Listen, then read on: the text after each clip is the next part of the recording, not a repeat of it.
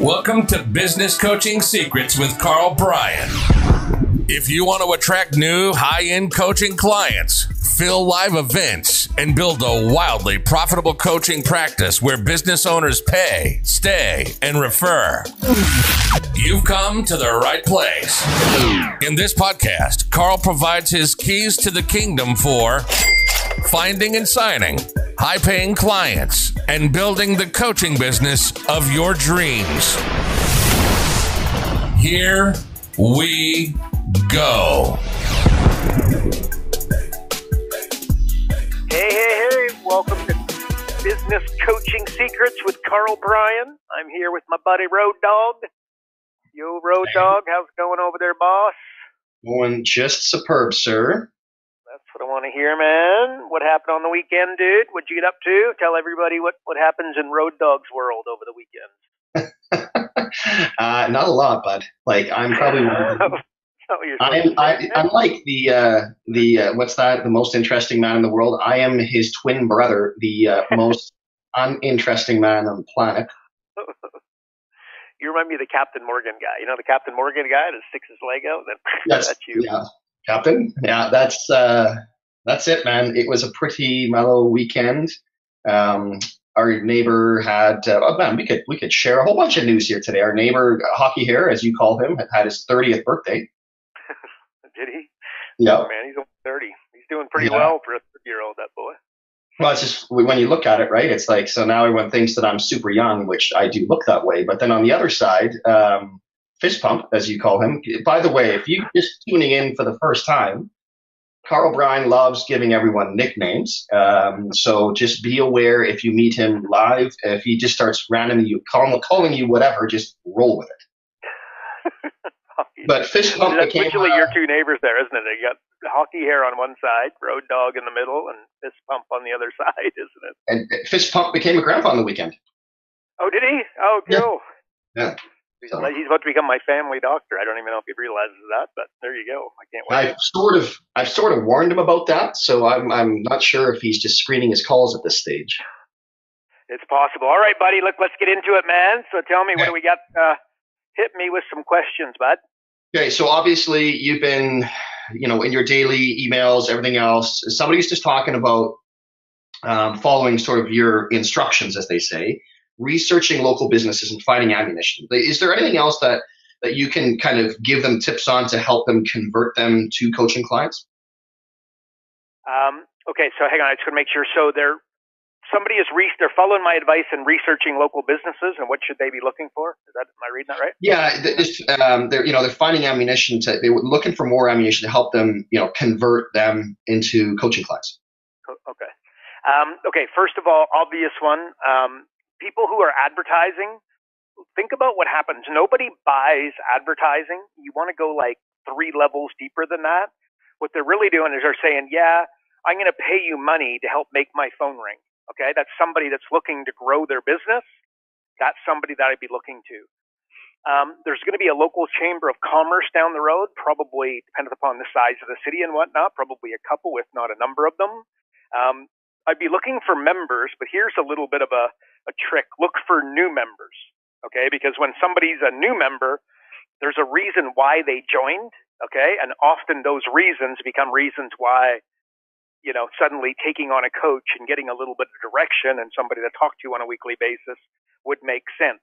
So, and then how do you do that? You build a relationship with the girls at the chamber, the guy at the chamber. Let me just tell you, and maybe just I don't want to riff too much here on this one, but the the number one salesperson at the chamber is somebody that you want to be buddies with. End of story. In fact, forget buddies. You want to build a business relationship with that person. You want them to think you are the bee's knees. In fact, I don't want you to think, I want them to know that you are the bee's knees. Again, you work with us, we can teach you how to find any business owner $100,000 in 45 minutes without spending a dollar on marketing or advertising. That becomes your superpower. You want to sit down, the number one salesperson at the chamber, walk them through the process, get them to send you a few people so you can do it pro bono for those individuals to impress the heck out of them so they think to themselves, wow, you know, you, you as in you, the business coach, are the one to be able to provide an insane amount of direction to folks. But if they're the number one salesperson, they know who the new members are. those are really hot prospects for you. It would go the same with BNI. BNI's got X amount of members. Well, the guy who signed up last week and this week and yesterday is a hot prospect to buy coaching. Okay. Um, in fact, I think that needs a little bit of detail. So why is that? Uh, if you once again you break it down, if you go out like let's say you've signed up 100 coaching clients in your career. Okay. If you go to literally every single one of them, research them a little bit, and you go back 90 days between when they bought your coaching, okay, and 90 days prior to that, and in many cases a week or two, you're going to find that there was an event, okay? So I want you to capitalize and bold event. There was an event that happened in their life that led them to finally say, yeah, you know what? I'm going to get a little bit of, you know, I'm going to get a little bit of direction. I'm going to hire somebody, okay? An example of an event is a birth, a death, um, a taking on a staff member, a losing a staff member, a really, you know, your number, your manager, your top salesperson leaves, starts a business and goes into competition with you. This is somebody in an enormous amount of pain or frustration, and there's a good chance that they're all of a sudden going to start thinking, I got to change my ways. Okay, so I could go on there, um, taking on a big client, losing a big client, taking on a new product, losing, you know, distribution of a product line. That event will lead them. Because if you jump on the phone today and you cold call, right, 100 businesses, we all know you're going to get told, you know, take a long walk up a short pier by certain individuals that they're going to say it in a way that could, you know, it's pretty mean, mean spirited, right? That exact same individual, you call them in one week, three weeks, a month, six weeks, 90 days, and they're like, all of a sudden totally receptive to your call. How the heck does that work? And I, am sure you guys know that maybe even instinctively, maybe you've experienced it, but that's what will happen, right? It's often the ones that'll tell you to F off that actually buy the coaching, right? Because again, they're emotional types. Um, so they're probably going through a little bit of pain and that's why they're telling you to take the long walk. But anywho, so, so that event, um, is important. Well, buying the advertising in his event, okay? signing up with the chamber is an event, and often it's a, another event, the birth, the death, and the ones I just went over, that led them to reach out to the chamber and say, "Look, I've got to join forces. I need to get to know um, some other communities, you know, businesses in the community, and join forces." Okay, so new businesses, period. Like again, what I'm doing is I'm going through things that I'm looking for locally to find hot prospects to sell coaching. When somebody starts a business, what happens? Like they look for coaching when they get in trouble. They look for direction when they get in trouble. It's too late. It's the same with borrowing money. If you go to the bank and ask for money when you're in trouble, they say no, right? You go to the bank when the, the time to go to your bank and get lines of credit is when things are going amazingly. Again, tell, by the way, this is good coaching. Okay. When you're working with a business owner and they're doing well, say, look, what do your lines of credit look like? What are the, um, you know, the, uh, what do you call it, the limits on your credit card, that sort of stuff. Get all that stuff bumped up when times are good, not when they're bad, because when they need it, they're not going to be able to get it, and this is going to be a bad thing. Um, so, new staff members, again, that would be a, another example. Um, husband wife team, that's a little bit outside the box, but you'll find that often a husband wife, the ones that don't end up getting divorced and hating each other, which does happen once in a while. But um, in fact, the movie The Founder, you guys have probably heard me talk about that at different times. I've, I've literally watched the movie, Lord knows how many times, but 50 for sure. Um, I love the movie. If you haven't seen it, I would encourage you to watch it. It's the story of Ray Kroc and McDonald's. Um, it's not a big part of the movie, but if you're like me and you're you're not just watching the movie, but you're like I, I would watch that movie and I watch The Social Network and I watch Boiler Room and I watch Wall Street and I kind of watch it with one eye to be entertained, but the other eye what's a lesson that I can take away from it? Well, you're going to find that in the McDonald's uh, movie or the founder, there was an inflection point, okay, where he realized, and this is true, but this actually happened. It was a very p- small part of the movie, but it was a huge part of Ray Kroc and the success that McDonald's have. But what he found is he was going to investors and people with loads of money um, and signing up them as franchisees at McDonald's.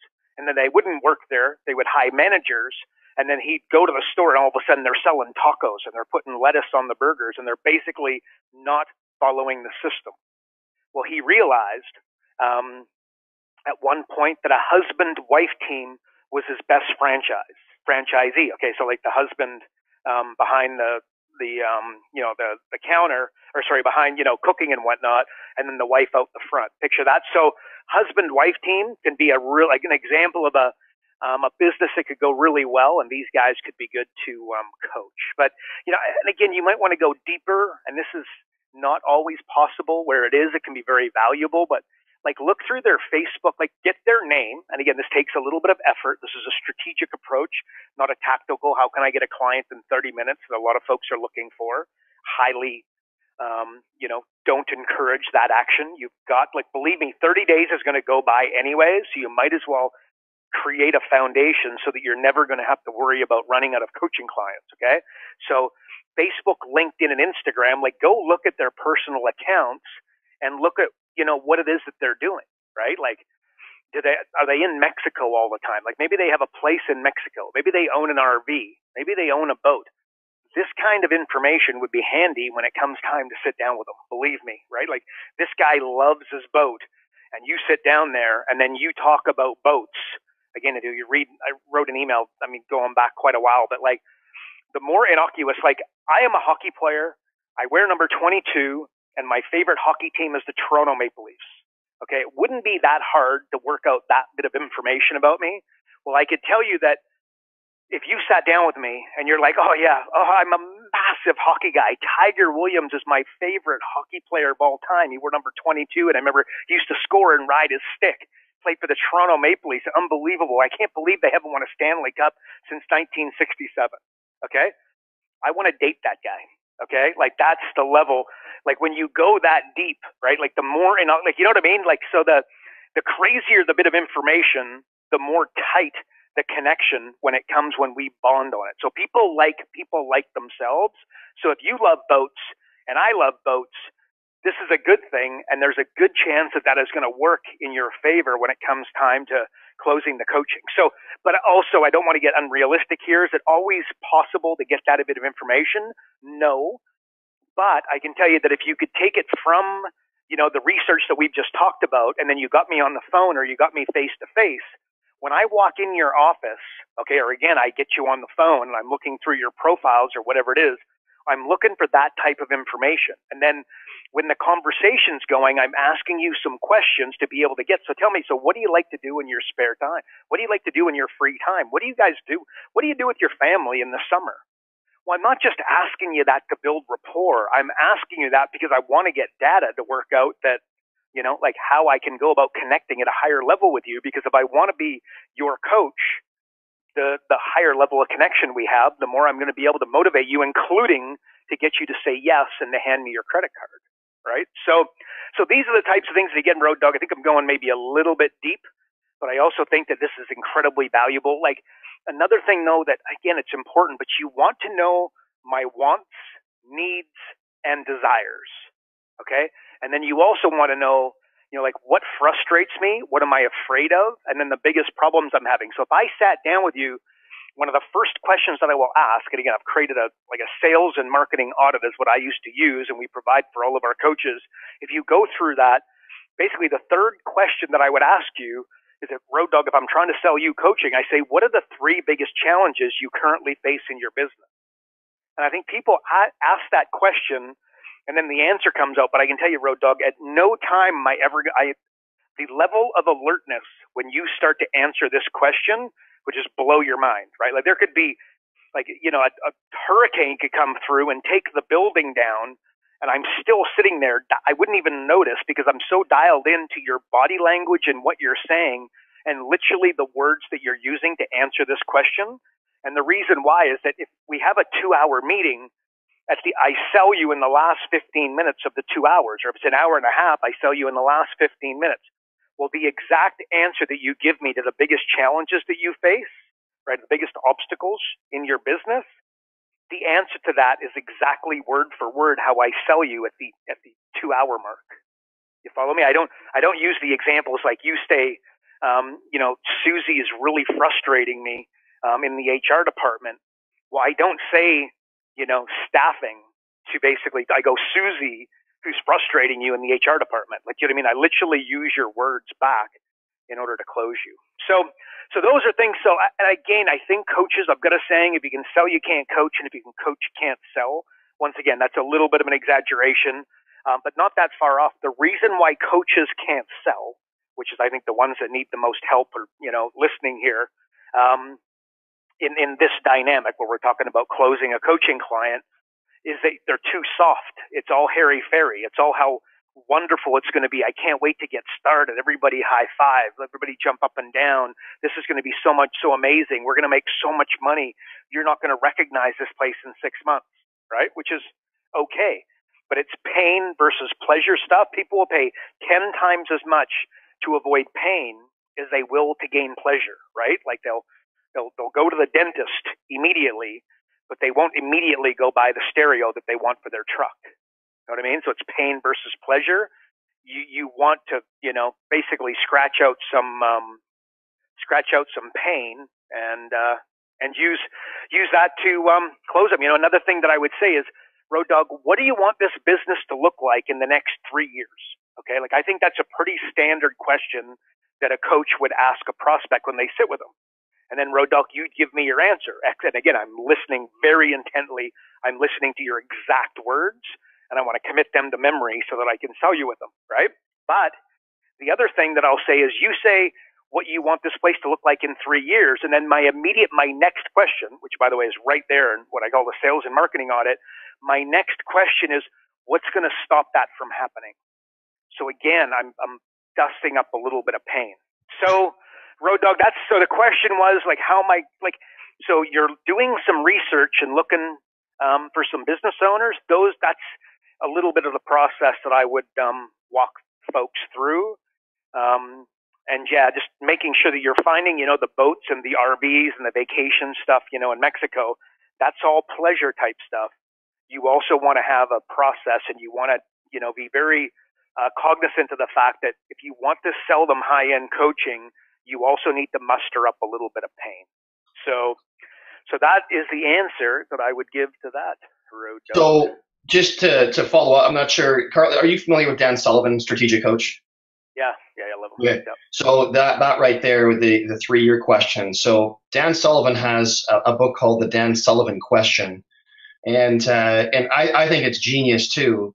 And it, it goes like this: If we were having this discussion three years from today, and you were looking back over those three years, what has to happen in your life, both personally and professionally, for you to feel happy with your progress? And again, that speaks, you, we talk about all the time, right? Like progress equals happiness, right? Like I hear you say that at least five times a day, but it, it's like, this is it, right? And, and they're going to tell you, they're going to paint the picture of exactly what they want to happen.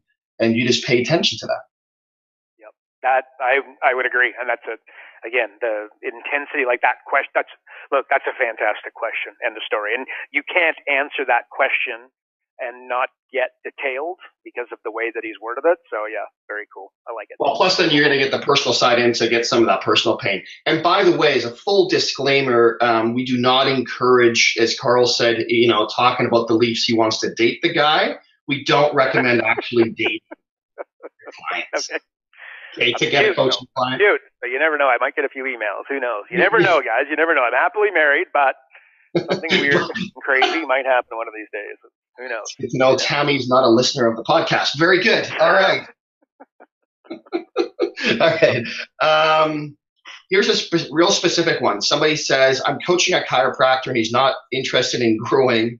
He's, as a matter of fact, more interested in golfing. Um, and uh, I feel like I will not be around long enough for to coach them. Right? Any advice on a situation where it's they basically checked out, they're far more concerned about going hitting the links than uh, than growing their business. Um, yes, um, actually, as per usual, I'm going to go in a little bit. So here's here's the trajectory of a chiropractic clinic. In fact, you could put a construction business in there. You can a number, I'm about to describe an insane amount of what we'll call quote unquote successful businesses. The kind of, and a successful business is one that gets over that 10 year hump and is still standing. Okay. So the chiropractor is, let's say he's 35 years old, starts his own practice, right? He starts and, you know, it's probably not going as hope well as he hoped, but he stays alive. He stays in the game, works his backside off, gets there. He hits 40, it's going pretty well. He hits 45, it's going gangbusters. He hits 50, he's getting tired, and this place is, you know, it's moving right along. He hits 55 and decides, I want to golf, right? Like this is stupid. He hits what what age did I get? So he's 50, 55. He's getting tired, right? So 60, no longer does he want to be doing it. So let's let's go back actually the age of you know 55. What happens is he starts scaling back his practice and instead of, you know, instead of working five days a week, he starts working three days a week. He says, I'm going to take off Monday and Friday. Screw this. I've worked hard for a long time. I'm only working three days a week, right? And then he goes from three days, and then of course he loses all of those clients, and they go find other chiropractors, or people call up and he says, "No, sorry, I'm not available." So you know, here's a number of the guy down the street, yada yada yada. And then he goes to sell the business at the age of 60, and he's basically selling a part-time business and he's golfing half the time. Because on the surface he thinks, well, I don't even know what he's thinking. It's it's one of those like he's going to sell it, but he's selling like a part-time business that isn't going to sell for very much. Here's the roadmap that is significant, and and he would have had some massage therapists and he would have had some chiropractors throughout that little journey.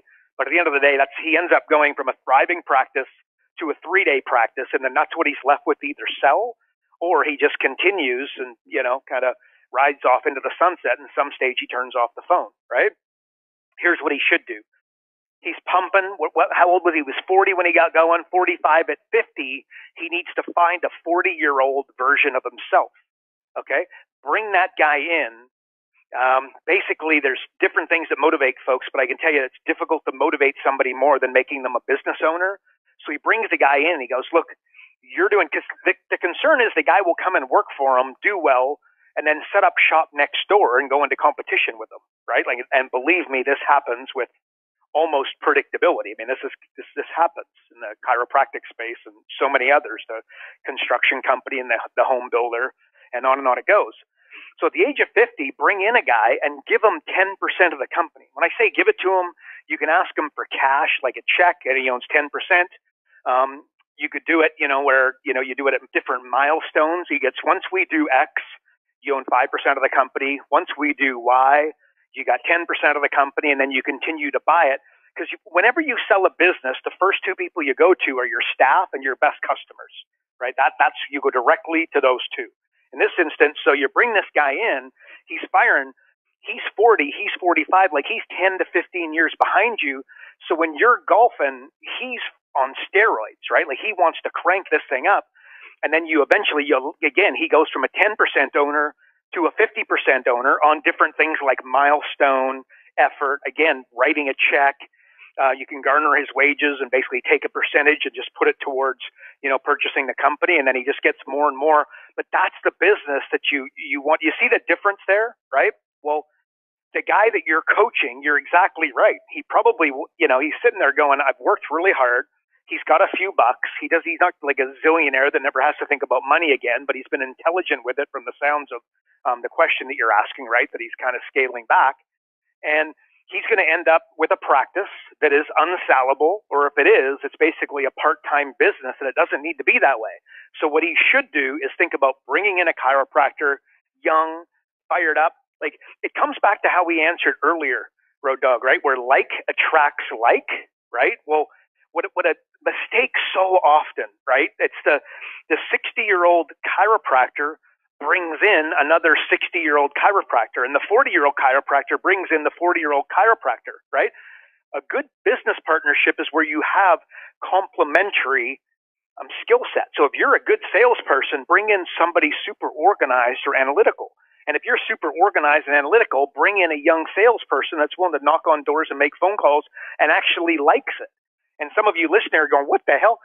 Who would ever like picking up the phone? Well, I can tell you that you're talking, you're listening to a guy who loved back in the day picking up the phone. I could tell you stories, but, and when I say loved it, this, let's go easy here a little bit. It's not like I want to, oh my gosh, can I cold call again today? But I loved what I loved is the close, the kill. When I got a deal done, like just the level you talk about progress equals happiness. I mean, it juiced me on a level that made all of those cold calls so easy to do and well worth it because I just love the kill. I love people. What they were saying is they were making me feel worthy, right? They were saying, I believe in you. I believe in what you put in front of me. I believe in the process that you just followed. I believe in, you know, the ejections that you just handled or the way that you handled them.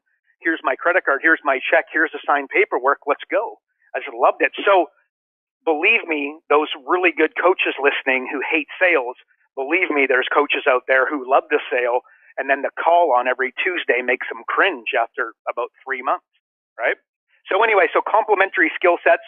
So the chiropractic business, you, if I'm sitting, and again, you want to drum up pain, it's like, well, you're going to work for 30 years building this chiropractic business and you're going to build it so well that you're not going to be able to sell it for anything. You know what I mean? Because you did well, you scaled back because you were able to, and then you're not going to have anything worth, sell we're selling. And that's what you want to do. You you want to bring in somebody. Then, by the way, so he turned 60, and then the other guy was say 40. Well, when the 40 year old becomes 60, he brings in. He's got the young guy in there as well, and it just continues. Um, you know, continues along, and the one guy can still own 10% of the practice, or he can sell out entirely. I mean, he's still most folks again, the, the chiropractor, he really loves chiropractic and that's the guy that's going to be successful. If he doesn't really, really love chiropractic and the process and whatnot, he's probably not going to be overly, you know, he's not going to be successful over like periods of decades. So the guy that really, really loves it's probably still going to want to work three half days a, a week, right? Like that, that's something they want to do. So he can continue to own X amount of the practice, but the other guys come in and take the majority over time. So that's one of the things that I would be encouraging, and that is something that I, I almost can guarantee that if you, you call a chiropractor, this is the process that they're you know, right in the middle of, and that can sell them on coaching um, big time. But but the bottom line is you, you got to muster up some pain, you know. So again, this is a guy who's doing well and somewhat complacent. So you're right, he's probably gonna, you know, let you go unless you can come up with a like. Okay, if I want to sell you something, I've got to create an immediate problem and then fix it. Right? Like that's it. Like, you know, I'll meet a business coach and it's like, do you have enough clients?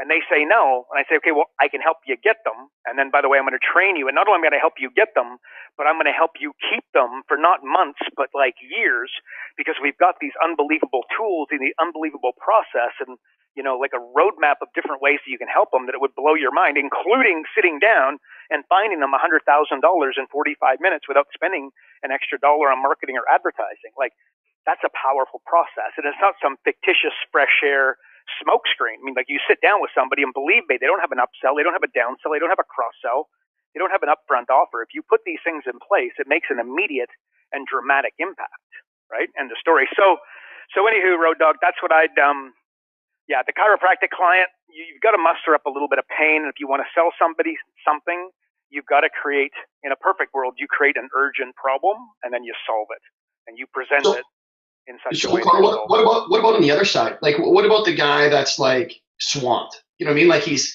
he's got all the clients that he can handle. You know that you can still have an impact on his business, but you know he's busier than than all heck, right? But yep. odds are good he's probably got some staffing issues, right? I, I would yep. imagine that typically be a key issue. But like, yep. what about uh, you know guys on the other end of that spectrum? Do you have any secrets there to close yeah, a guy like that? that's swamped.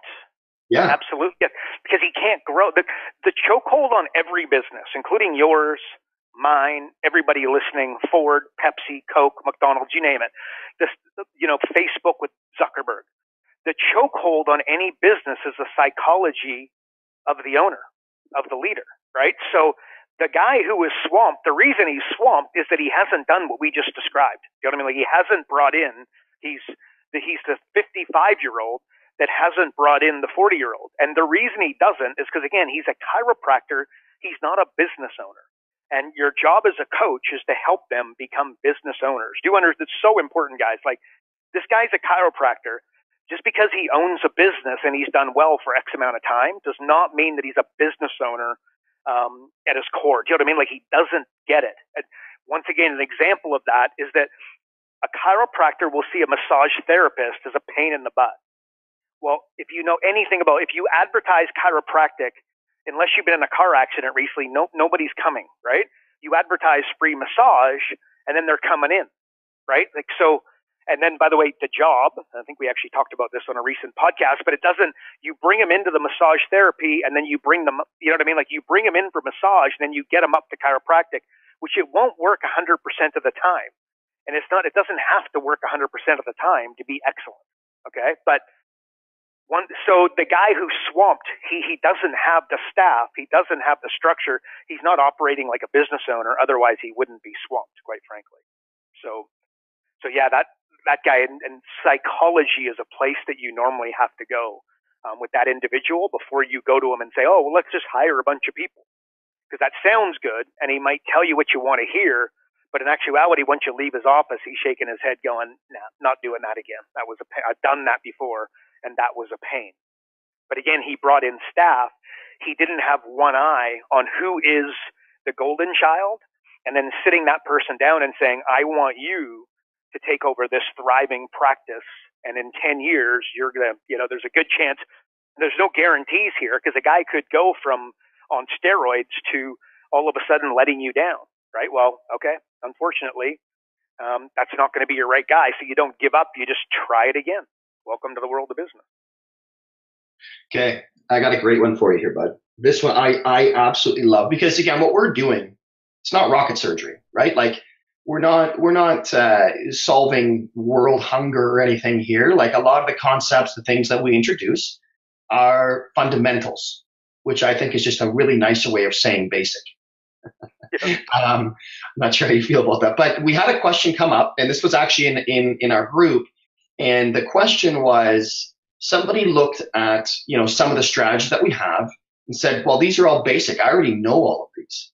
What do you what do you do in that scenario? Because I know I've got my feelings about that in terms of knowing and doing, but like how how do you handle that when somebody's like, well, these are I know all this stuff. This is basic stuff.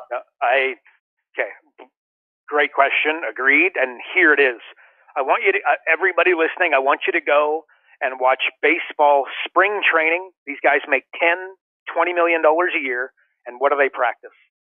Okay. And then go to hockey training, you know, spring, you know, the equivalent of spring training for hockey. And what do you think they're practicing? And then football. And the baseball players are literally taking ground balls and the fielders are taking pop flies, right? It's when a batter, when, when a, a bat, you know, like, you know, the best hitter in the league is up the bat and he falls into a slump. What does his batting coach do? He grabs him. He says stuff like, keep your eye on the ball, get your elbow up, lower your, you know, your, your, all of a sudden your, your um, center of gravity is coming up ever so slightly. He always goes to the basics, right? What are they? Karate. There are 12 moves in karate. The world champion has 12 moves, and you and if I, we take it up tomorrow, we have 12 moves. It, it's always the fundamentals. Like, again, Ford, Pepsi, Coke, us, the business coach down the road, it's always the fundamentals. So, but at the same time, so if, if okay, I'm doing a live event, okay, and I've got 25 business owners in the room. I, if I get there and we talk, we're going to talk advanced techniques for growing a business. I will go over the head of most of the people in the room. And therefore, I will not, like, my conversions will be horrific. Believe me, you give me a room of 25 business owners, and I don't care how good they are, I will go through goal setting and do it in a passionate way. And almost every single one of them will be there going, I can't, I know this stuff. I can't believe I'm not doing it. Okay. And then I'll go 80 20 time management. I'll go, yeah, but you know time management but I guarantee you are not taking like 20% of your activity derives 80% of your efficiency or productivity, and you're not concentrating on the 20%. I'll give you 100 things to do, and you're spending, you know, an equal amount of time on each of the 100, which is crazy because you should be spending 80% of your time on the 20% that matter. And in actual fact, you should be taking three of the 20 and really nailing down because actually it a little bit of a riff here, but I'll tell you. So, if, you know, everybody knows 80 20. This is not rocket science. Here's what nobody talks about. If you show me the 20, said 20% of your activity derives 80% of your productivity. But if I take, I want you to metaphorically picture a magnifying glass over the 20 that derives the 80. What you're going to find is that 1% to 2% of the 20 will bring in about, again, I'm going to call it 80%, okay, of the you know, of the 80. I'm kind of, you sort of get it. Like take a magnifying glass. In other words, one to two percent of their activities are bringing in very close. Let's call it 75% of their productivity. So that sounds good, but one of the challenges is finding what that one to two is, and that is art, not science. And frankly, it takes a little bit of work. And it takes a coach and a passionate consultant to show up and be insanely alert and understand how to not when when I ask you a question, Road Dog, and you give me the answer, I guarantee the answer is just never the answer, right? Like I got to go three levels deeper in order to get to the real answer, and that's an example of what needs to happen there. So so yeah, so that's so that that 80-20. So no, advanced techniques are just like that. That is just not the way to do it. And again, I'm talking about the absolute, you know, the you know the big the company you sit with that's doing 20 million, 10 million, the guy who's starting, you know, tomorrow to get, you know, to get rocking.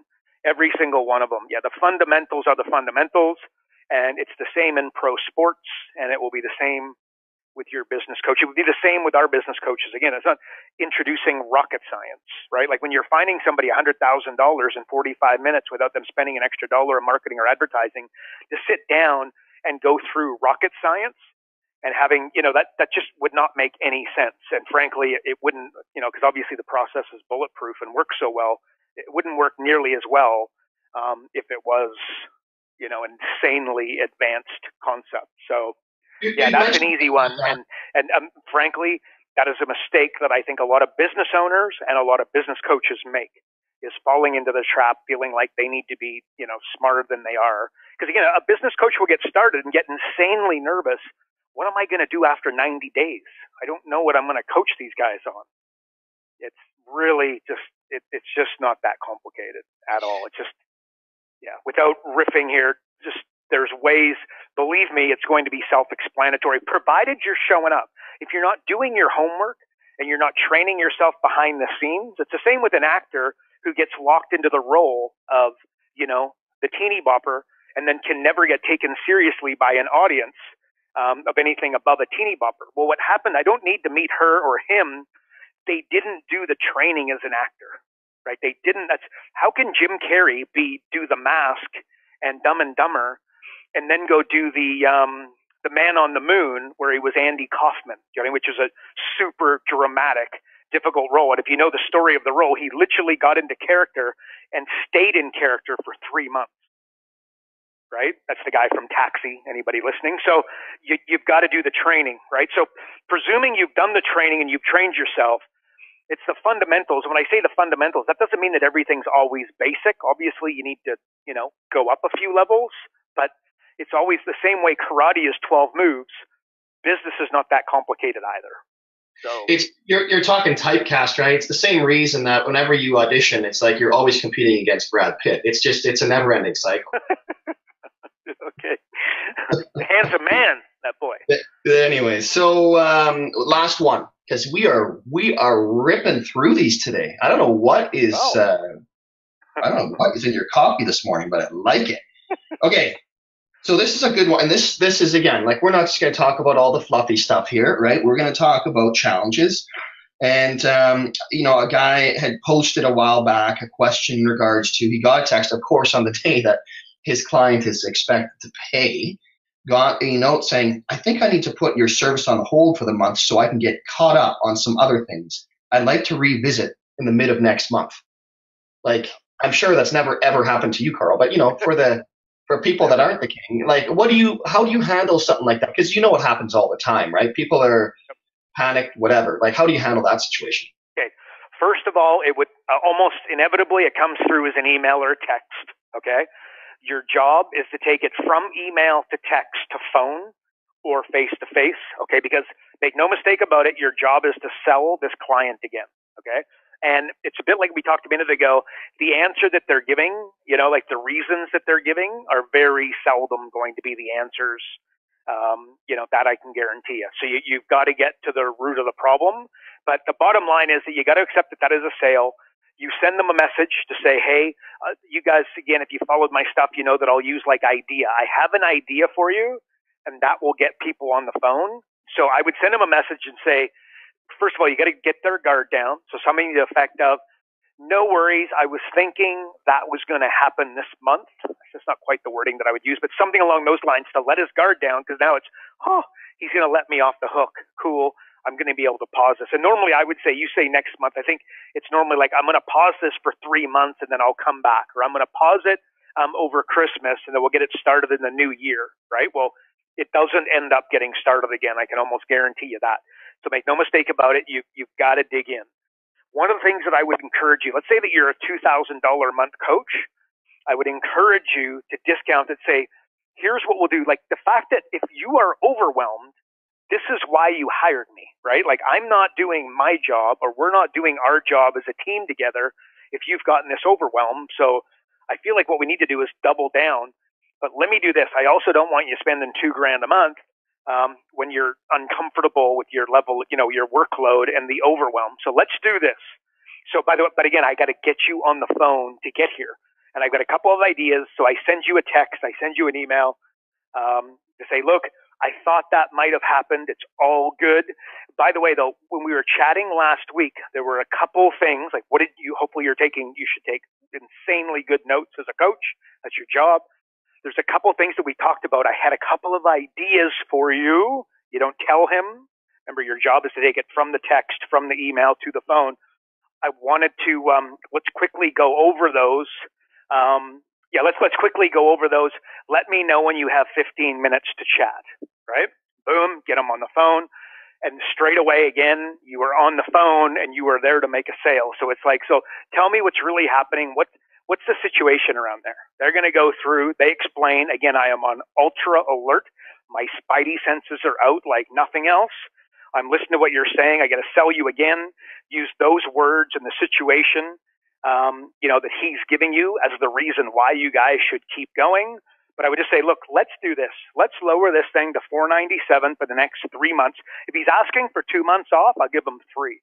If he asks for one, I'll give him two. If he asks for six, have a little bit of a problem, I try to scale him back to three total uh, transparency because you don't want to give him too long off, right? Because that's six months. He's he's basically canceling. But bottom line is that look, let me lower you for three months, and then we'll get back at it. But again, the fact that you're you know a sense of overwhelm, and not to mention it's Christmas time or it's the you know it's the the um the holiday break.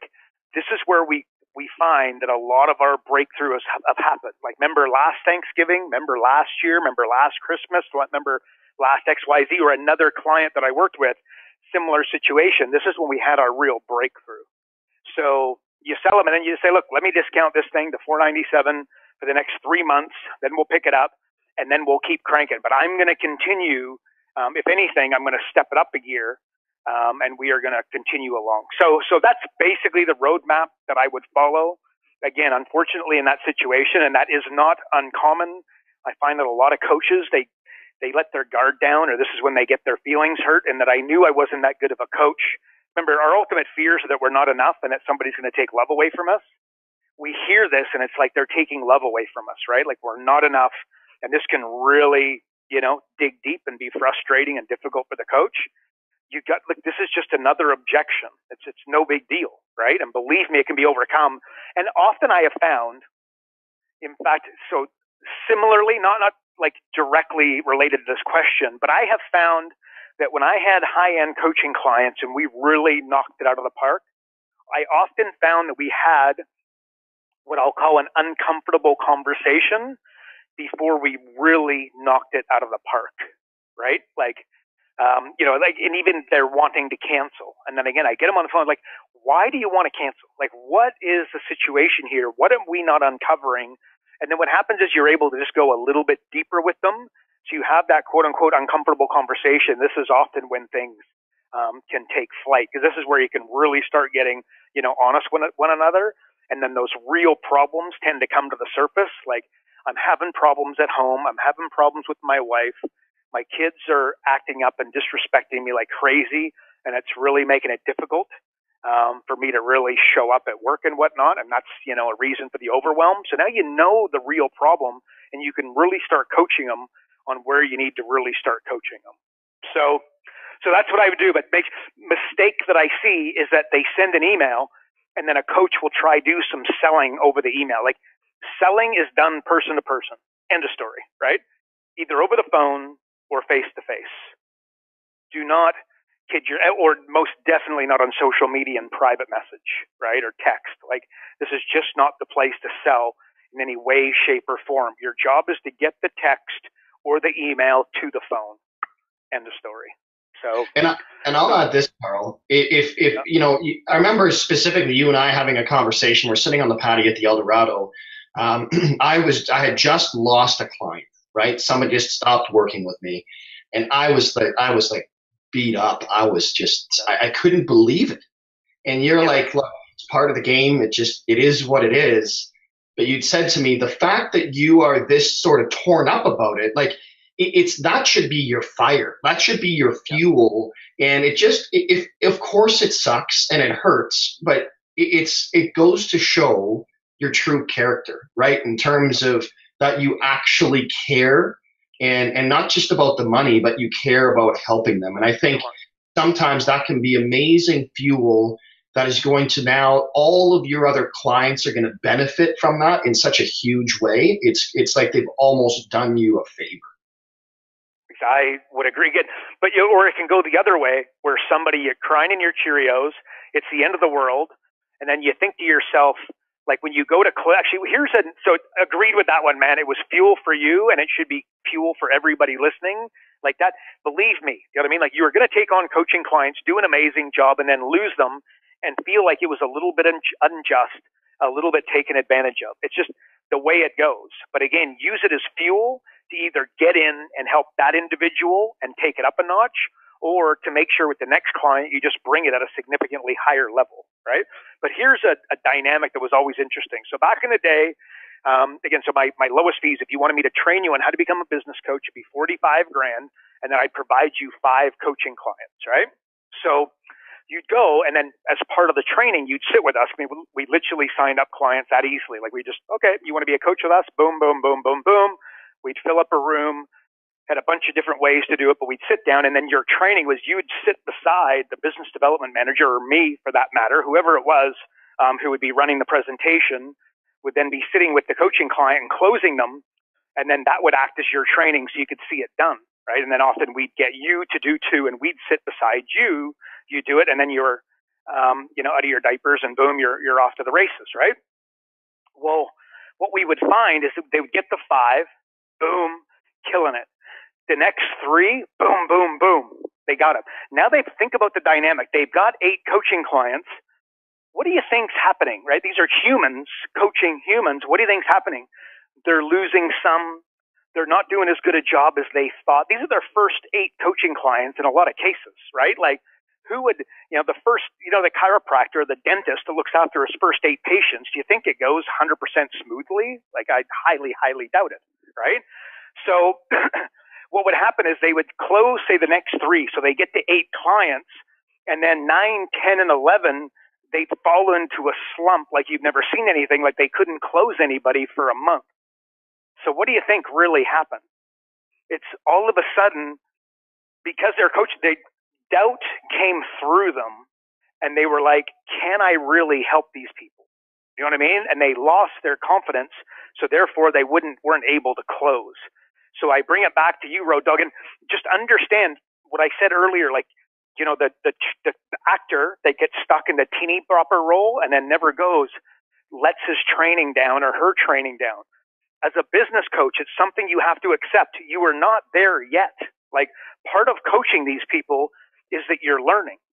And then away from you know, and again, I like Tom Brady. We kind of talked about this on different podcasts. Like when he trains, I mean, the level, like the sweat pouring off of his body and the hours that he spends in the gym would literally blow the mind of the average person listening here. And my question is, and he's Tom Brady, best in the world, the level of training that you're putting in away from, you know, the nine to five, try get clients in a system, how much extra training are you putting in? How many audios a day? How many videos a day? How many emails are you reading? How many emails are you writing? And how many talks are you doing? Again, I again when I do a talk, like we're going to um, Cancun soon, right? So we're doing business coaching mastery. I've got a presentation that I'm doing. It's three hours. Believe me, I am going to learn as much and in many cases more than the folks listening by being the guy who's presenting. And again, I've been doing this stuff for almost a couple of decades. Like I'm not exactly new to it, but I guarantee that there's things that I am going to learn, right? Since I started doing, sending out a daily email, what I have learned over the last period of time while doing that, again, it would just blow your mind. So forget me. That's not what it's about. But what about you? Right? How many emails are you writing? Right? And you're getting better. I've noticed you, Road Dog. you've started writing some emails and started writing some social media posts. You're getting better at it, right? You probably admit your first few were, you know what I mean? Not that they were bad, but in comparison to what they are now, they were lame right? And now, and, and in 12 months' time, they're going to be that much better because I know you. You're not. It's not like you're going to stop, right? Well, forget us. What about them? Like, how much training you guys doing? It's so important. So anyway, so when you're losing those clients, guys, this is how we got off on that. Just it needs to fuel your hunger. You know what I mean? Like when I'm playing hockey and I go in the corner and some big meat axe comes in and takes the puck away from me, I don't go, oh well, he's a foot taller than me. Well, back in the and by the way, I'm talking back in the day. Nowadays, I kind of just shy away. I just let the big guy go take the puck and go change and us for a beer. Um, but anyway, but you like you know what I mean. Back in the day, it's not like oh well, he is a foot taller than me. Like how was I ever going to get the puck off of him? Right? Like how good of a hockey player would you be if you did that? Or the receiver, Tom Brady throws you the ball. And you know the cornerback's a foot taller. What? So you're going to let him have the ball instead of you catching it? Well, the next week you'd find yourself on the pine, not playing, right? So, so it's the same. It's you got to make that fuel you. And the guy and the short ass receiver who gets, you know, the you know the the cornerback who's a foot taller intercepts the ball. He goes to training. That makes him hungrier. It makes him mad. He watches that film 25 times to work out what went wrong and what he could do differently, and he makes sure that he does it differently next time so he doesn't get the interception against him or he gets cut. That's his other option. You know what I mean? So you guys as business coaches and Road Dog our conversation because I remember that. Right? I was a mortgage broker. It's exactly you know you've got to let that fuel you, not hurt you. Right? You got to you got to stick your nose in the book as the solution, not you know all of a sudden you know crying the Cheerios. So so that's what I'd say to that man. All right, bud. I think uh, here we are close to an hour again. Um, one of these times, like we'll have to have like the balloons come down and everything if we get it to about 45 minutes. Any, I it's uh, going to happen, man. All right, yeah. buddy. Well, look, Road Dog, appreciate you, bud. Everybody listening, of course, appreciate you. And again, if we've done a good job and you like what you hear, if you know of somebody who should become a business coach, please do me a favor and send this to them. If you know an existing business coach that needs to take it to another level, uh, get this podcast in front of them, please. We'd much appreciate it. Or our One Thing series and our um, series of emails through the magazine, The Six Figure Coach. Much, much appreciated. But anywho, if you want more information, go to focused.com. Oh, and by the way, if you could hit a review or give us a, uh, a rating on this podcast, of course, we would appreciate that. Um, so please do it. But um, for those of you listening, we appreciate you. Want more information, go to focused.com. And um, yeah, if you could you could share this bad boy, that would be much appreciated. So for everybody listening, we appreciate you and we will see you on the next podcast. See you, Road Dog. Make it a great week, everybody. Karl Bryan built Profit Acceleration Software 2.0 to train business coaches how to find any small business owner more than $100,000 in 45 minutes without them spending an extra dollar on marketing or advertising. This becomes a business coach's superpower. So, as a business coach, you'll never again have to worry about working with business owners that can't afford your high end coaching fees. Check us out at focused.com.